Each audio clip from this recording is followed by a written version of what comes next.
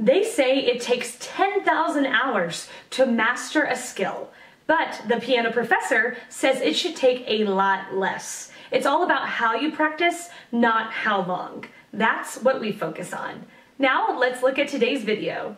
The question, what is your opinion of Daniil Trifonov's piano concerto in E B minor? I recently took advantage of an opportunity to attend a live performance of Trifonov's original piano concerto featuring the maestro himself.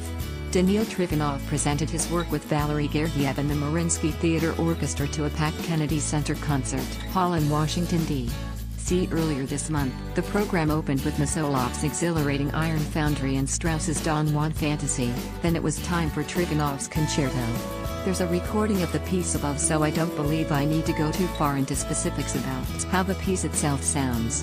Instead, I'll detail a few bullet observations I recorded in my journal fresh after the concert. Trifonov brings a skill set of virtuosic comfort and elegance to this piece that's almost improvisational and effortless in its execution. The piece speaks in a technical language that is tailored to Trifonov's virtuoso personality.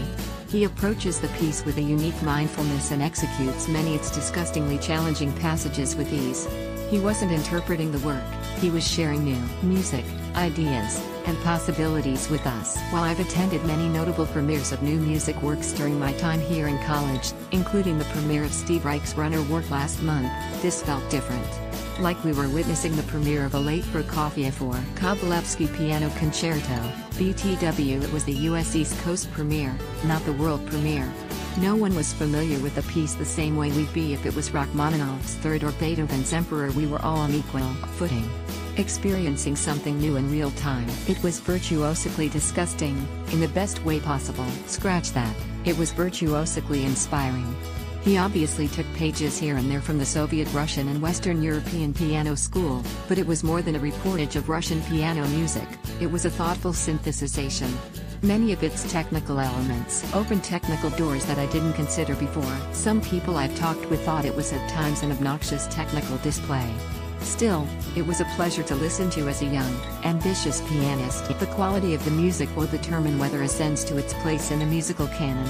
I haven't been on this earth long enough to have witnessed musical canonization firsthand, but it'll likely be difficult to have this work join the ranks of the music it so often attempted to emulate because it's arriving 120 years late to a party populated by so many major warhorses. Three audiences' reaction after the performance was mixed, no boos, but I'd say roughly 50% of the audience weren't even clapping, but similar if not worse reactions weren't unheard of following the premieres of Prokofiev's Piano Concerto No. 2 and Stravinsky's Rite of Spring.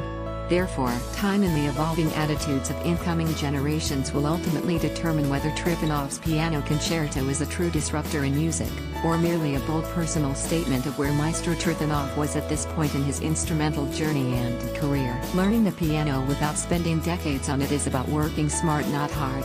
You can access the Piano Professor pack in the link below. It focuses on abusing diminishing returns to get the best results possible.